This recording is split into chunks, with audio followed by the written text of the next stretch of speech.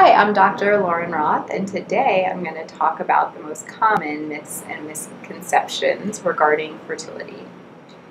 I think the most common, widespread misconceptions are regarding age and weight. We'll address age first. Everyone knows that it is harder to get pregnant as you age.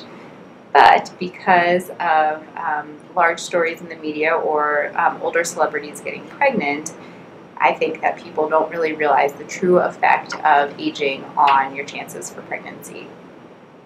Women have the most eggs they're going to have before they're born. Half of them are gone by the time you're born, and then they're being used up throughout your life, regardless of what you're doing. There are a few things that can speed up the use of these eggs, but um, otherwise there's little control you have over this. But we know the older you are, the less eggs you have.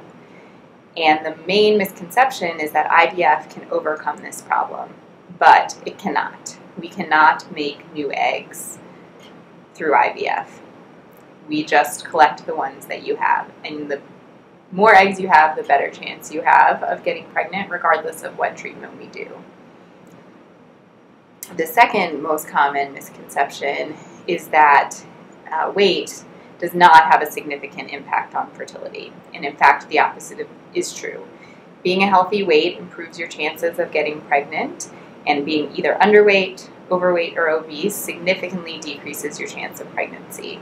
And each BMI unit over 30 decreases your chance for pregnancy per month by about 12%. So that is significant. And when counseling patients about losing weight, we know weight loss is hard. And we know that losing a large amount of weight oftentimes seems overwhelming. But the great news is if you can even lose 5 to 10% of your current body weight, not only will that improve your general health, it will also improve your chances for pregnancy.